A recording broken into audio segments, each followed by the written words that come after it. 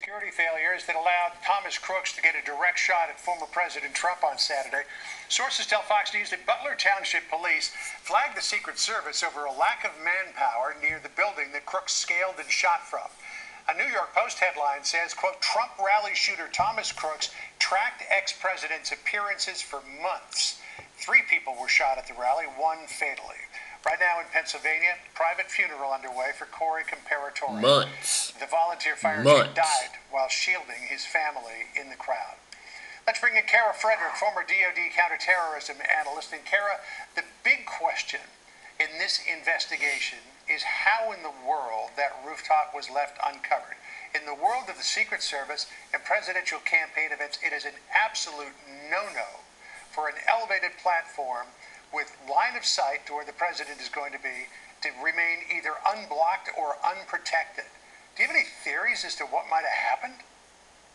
No, I think we're clearly not getting the full picture here because, as you intimated, this is physical security 101. And the fact that that rooftop was not secured is a massive oversight. So, in terms of theorizing on what happened, it is critical for a security plan to have your local law enforcement, to have your state officials, and to have your federal authorities all coordinating. It appears that there was some sort of lapse in coordination here. But uh, what I think the bigger question is, is there reports that he was surveilling President Trump's movements 150 over some months. How does how do we not know how he was surveilling? Do we uh, what digital platforms was he using to do it?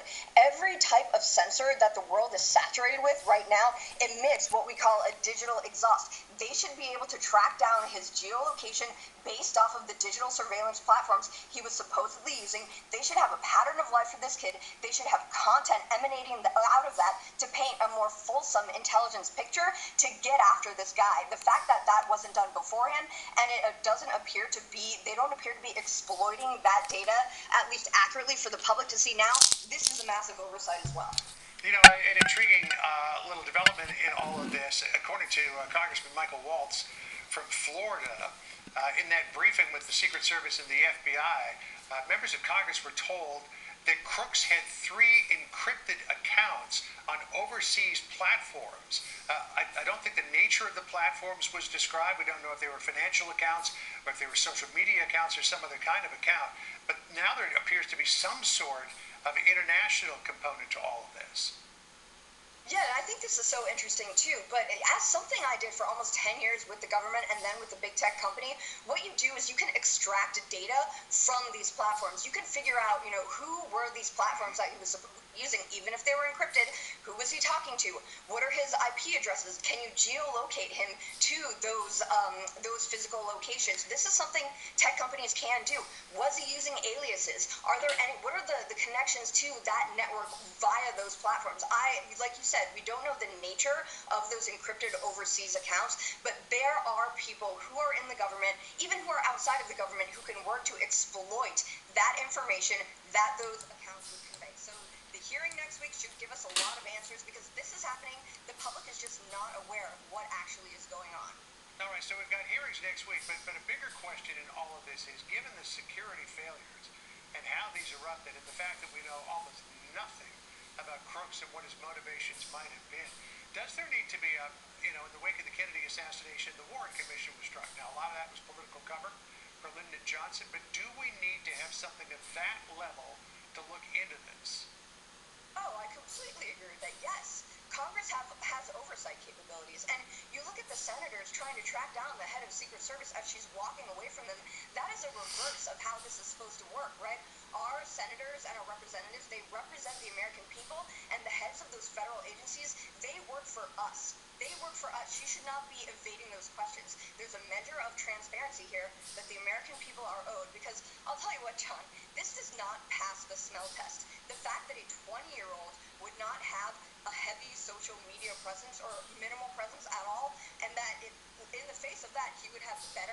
operational security than the seasoned Al Qaeda operatives that I tracked down over the course of years, doesn't pass the smell test. The American people deserve answers. Let's give it to them in Congress.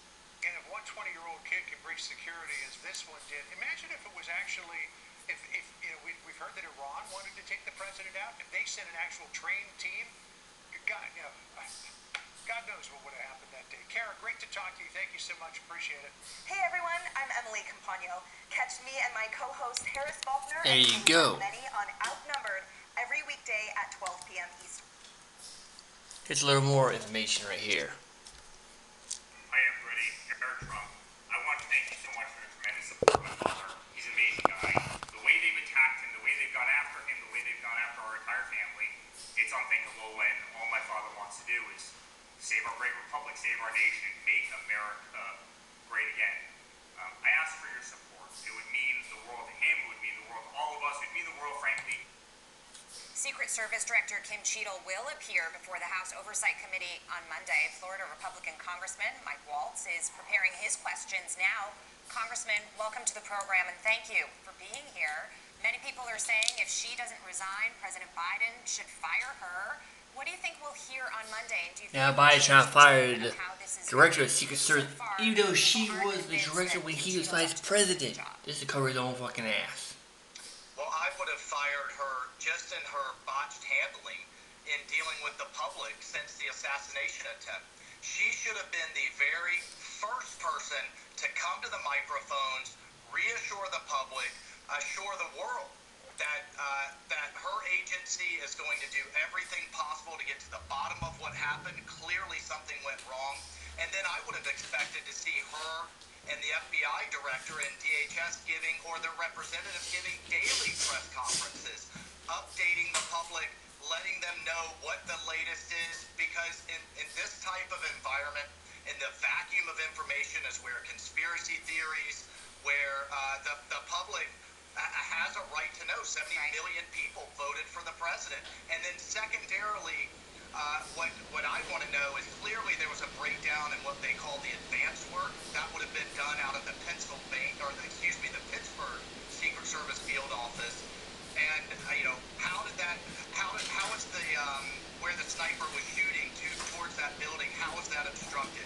How did you have dead space where you couldn't see with the slope? How was that building outside of the perimeter yet so close? And were this is the key question: were additional Secret Service resources requested and then denied? Because I'm being told by agents directly that more broadly they've been requesting more for President Trump over the last few years, Yeah. and they've been denied for budget reasons. And she hasn't been quick to answer many of these questions. At the RNC, she was uh, confronted by some um, Republicans asking her many questions, but she remained silent. What we've heard from her so far, you mentioned the slope on the building where the shots came and the shooter was positioned.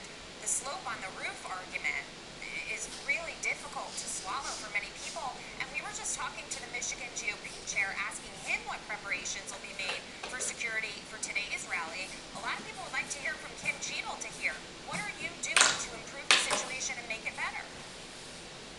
it was it was inco- unconscionable and completely inappropriate for her to c- come to such a public environment, the RNC commi- uh, convention, having yet answered any question about an assassination attempt days prior, and then you know to have senators having to kind of chase her down just to get basic questions answered. By the way, they held a phone call and they wouldn't allow uh, really any questions there either, and then cut the senators off. So this is the exact opposite of the transparency that is needed. Like I said, I would have just fired her on how she's handled it since the assassination attempt, much less what the investigation uh, un- uncovers.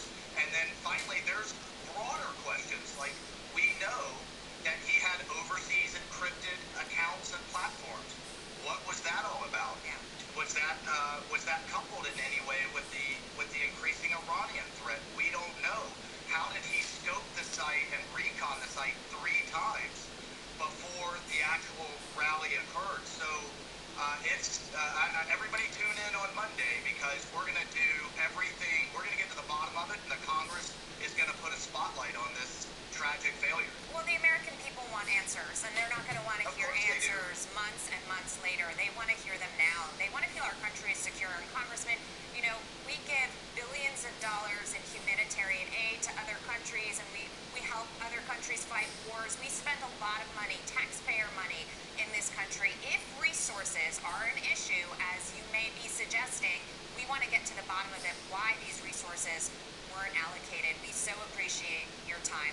Final word. Final, we gave, we, Congress gave her a big budget plus up just last year. Where did that money go? Congressman Mike Waltz, thank you so much. Good to see you. Thanks. Simple. Money went in her pocket. That's where it went.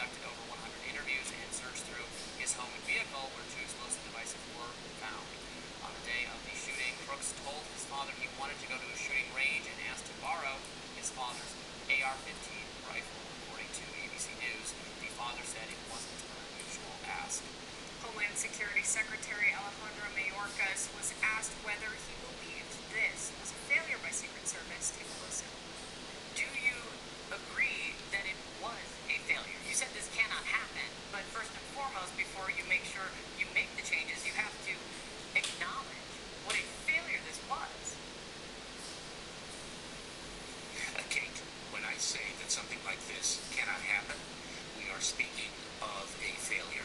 We are going to analyze through an independent review uh, how that occurred, why it occurred, and make recommendations and findings to make sure it doesn't happen again.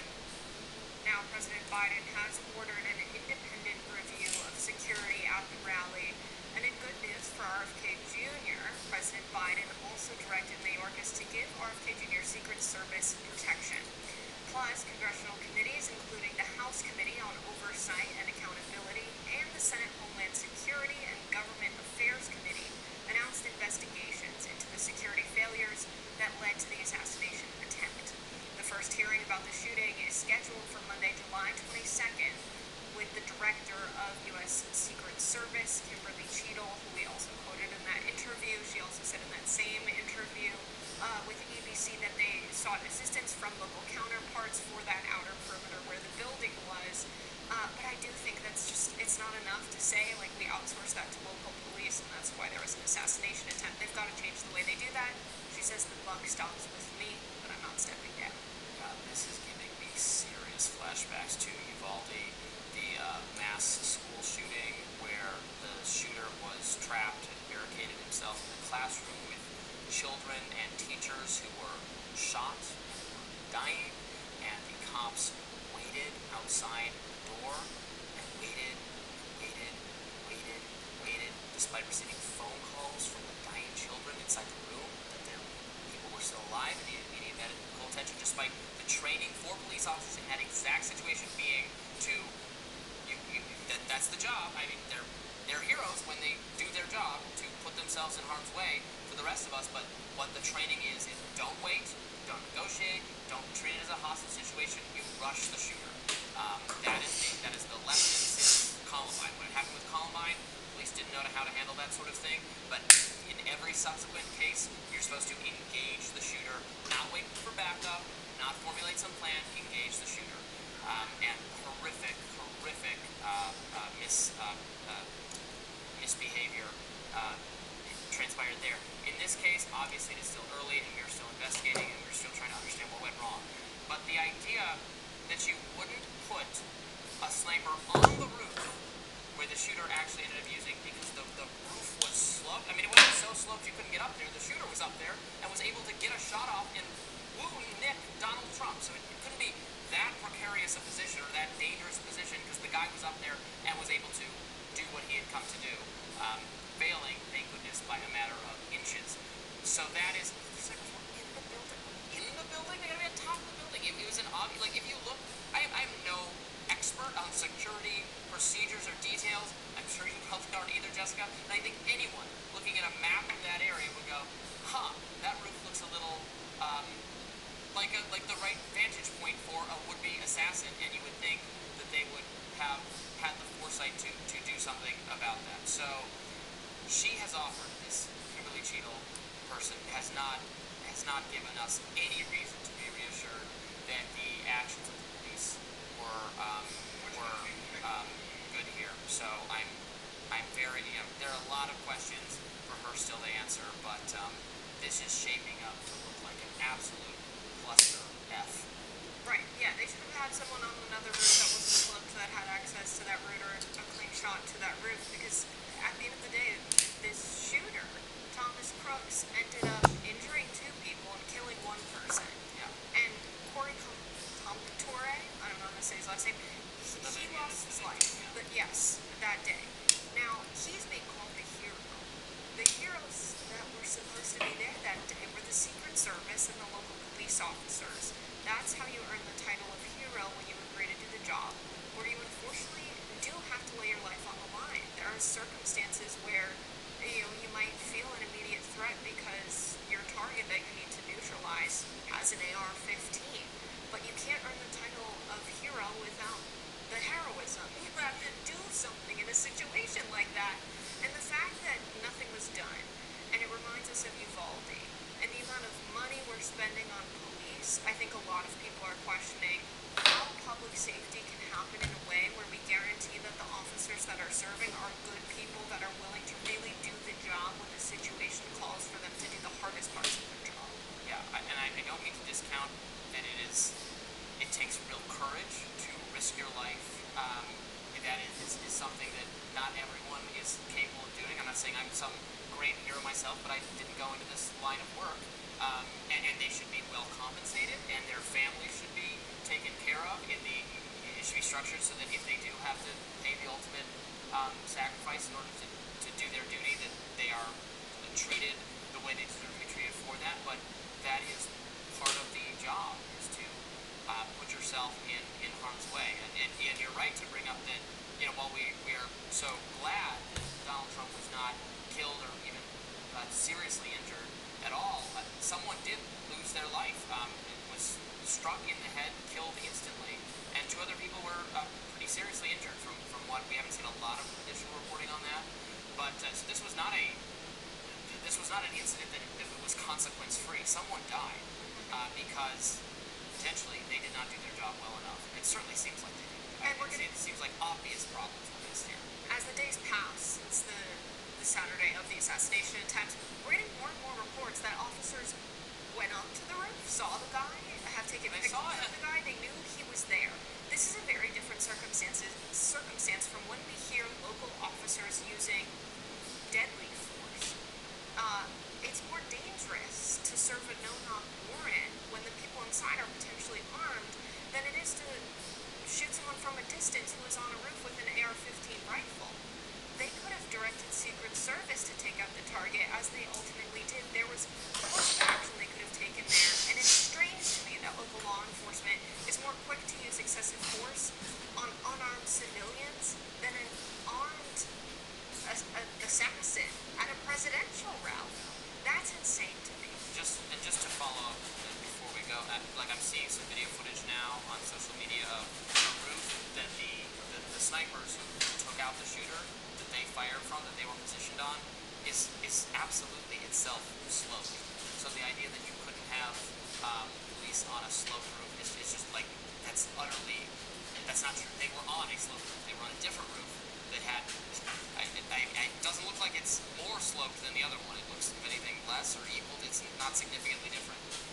that is just a total BS excuse.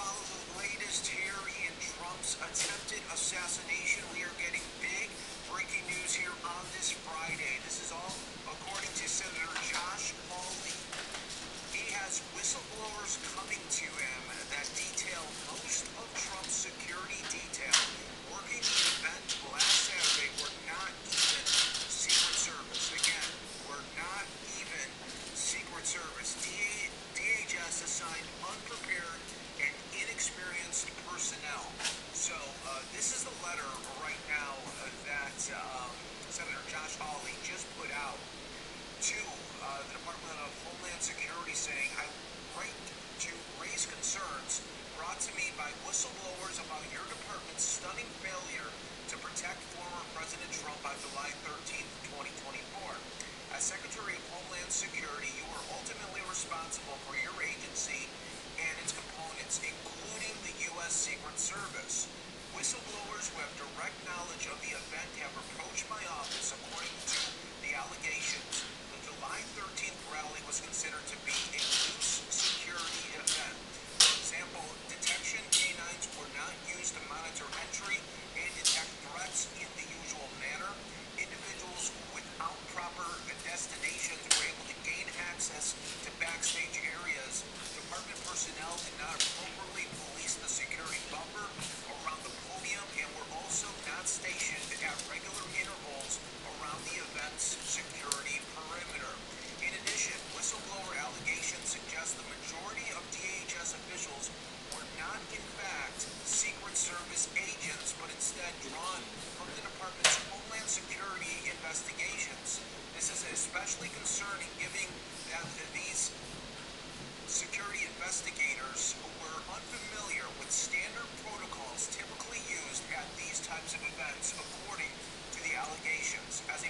Senate Homeland Security and Governmental Affairs Committee, which has oversight jurisdiction over your department, I will continue to investigate your department's role in the staggering security failures on July 13th. Unfortunately, your department has not been appropriately forthcoming with members of Congress.